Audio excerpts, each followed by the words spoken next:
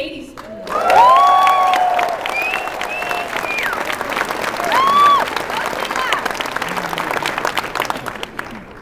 Today's rally is such an exciting opportunity to come together and to hear about Tom Mulcair's plan for how a new democratic government will stand up for Vancouver Island families and how we will build a stronger families, stronger middle class.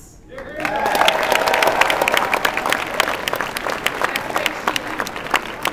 we want to do everything we can to spread the word about Tom's plan and today's rally.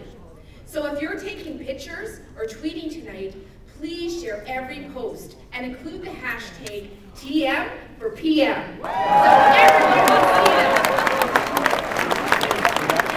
Also, today's rally is being live streamed online. So if you have friends that couldn't make it here today, you can text them or email and let them know to go right now to ndp.ca slash live so they can watch the rally here and they might be even able to see you.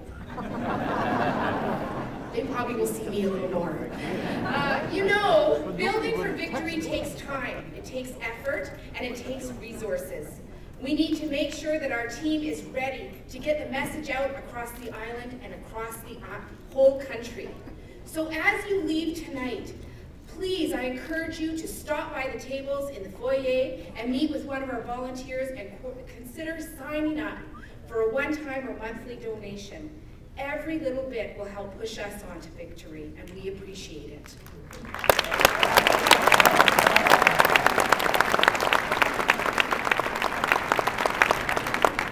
Now, friends, today is a very special day.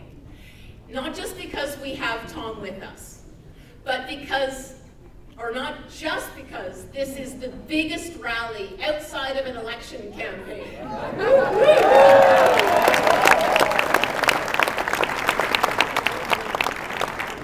Today is E minus 159. that means only 159 days until we defeat Stephen Harper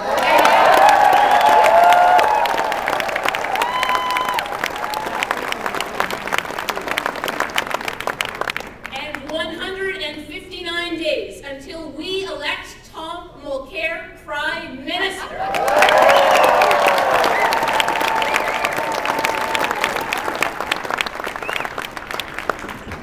And we enter this campaign from a position of real strength and so much momentum. So over the past several years, the New Democratic Party of Canada has grown its support and its seats in British Columbia. Last time we got one third of the vote across the country. We got one third of the vote across the province and 12 of the seats.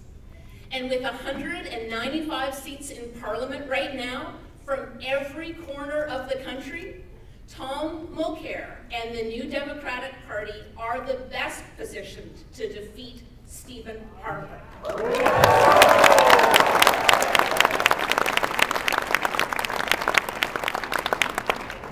And in fact, with just a handful more NDP seats right here on Vancouver Island, the NDP will defeat Stephen Harper's Conservatives on October 19th.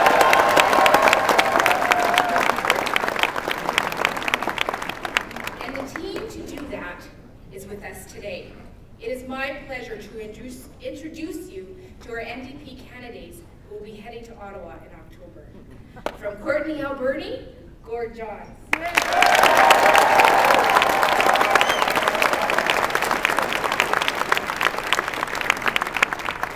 Cowichan, Malahat, Langford, Alistair MacGregor.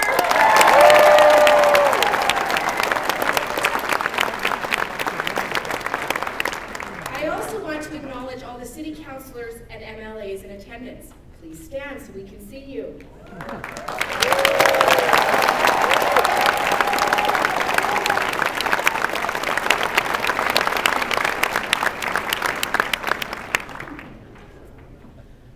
But of course, it's not just our new candidates that have us so ready to form government.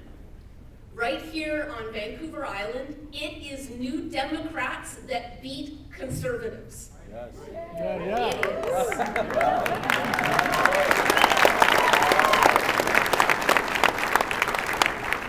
And tonight we have with us just a few examples, some of the best examples of what happens when we win.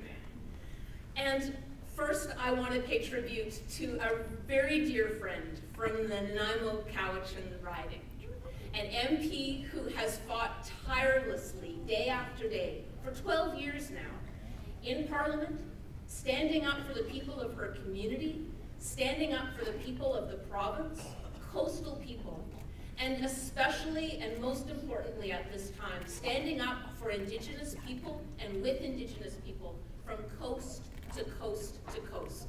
Our friend, Jean.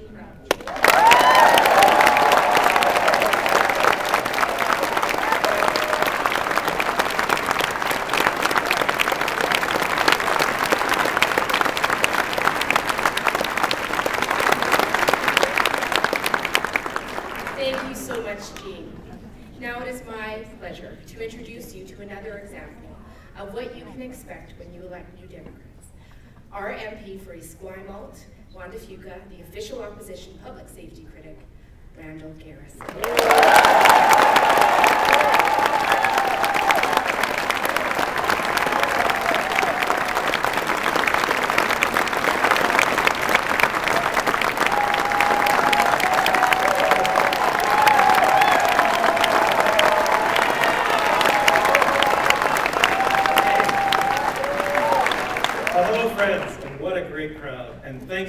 To Rachel and Sheila.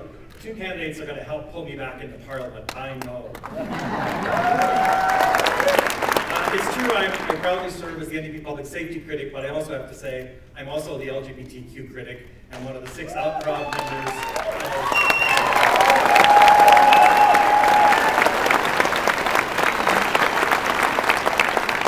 So it's an honor to serve the people of Esquimalt Juan de Fuca, and I'm looking forward to having the opportunity to go back.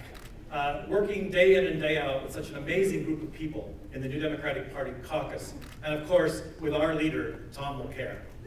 Tom is a leader who not only knows where he stands, but has the courage to back up his convictions with real action. And there's no better example of this than with the leadership he's shown on Bill C-51.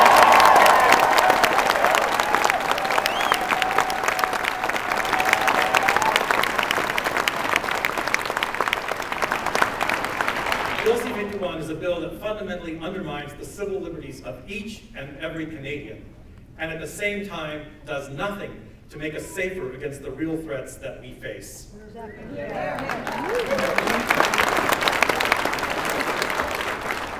Tom has led the charge in Parliament and across Canada to highlight the fundamental problems with this bill, and Canadians from all walks of life and all political stripes applaud his leadership in opposing this bill.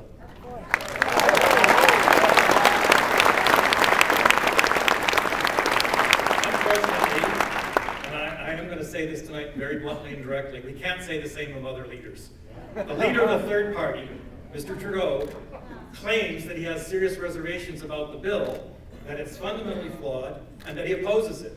But at the same time, he decided he would vote in favor of it, and he would force his entire caucus to vote in favor of it because,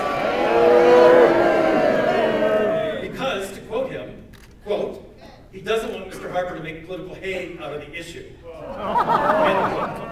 It's a failure of leadership when you say you oppose Bill C-51 and then vote for it only because you're afraid Stephen Harper will criticize you for it.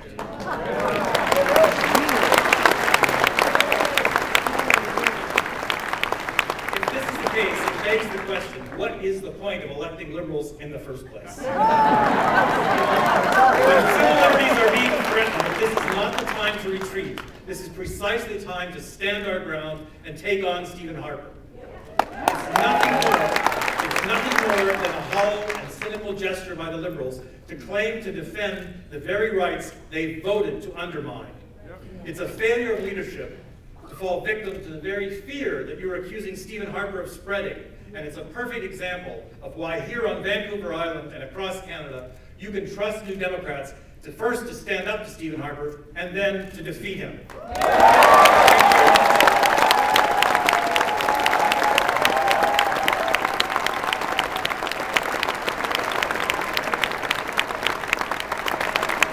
Thank you so much, Randall. Now and again is our pre- for the South Island and in Ottawa. The NDP health critic and the MP for right here in Victoria, Murray Rankin.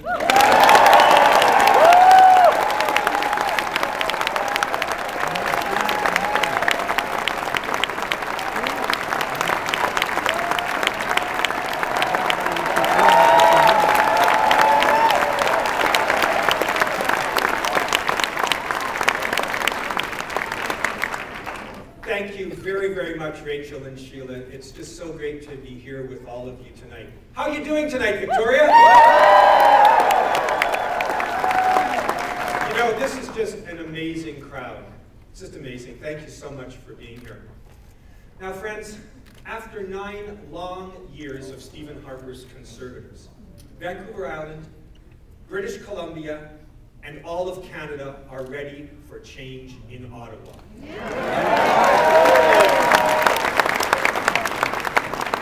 Whether it's the economy, whether it's climate change or urban issues, Tom Mulcair is the leader with the plan to repair the damage that Stephen Harper has done to our country and to get Canada at last on the right track.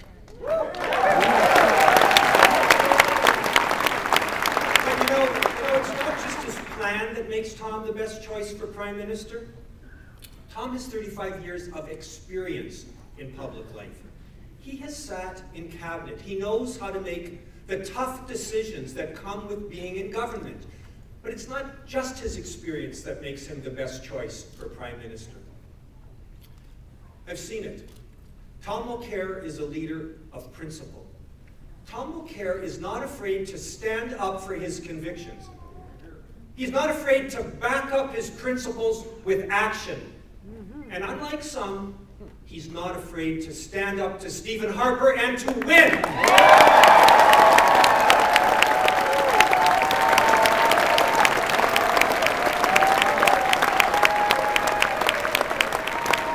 And that's what makes Tom the best choice for Victoria, the best choice for Vancouver Island, and that's what makes Tom the best choice for Canada.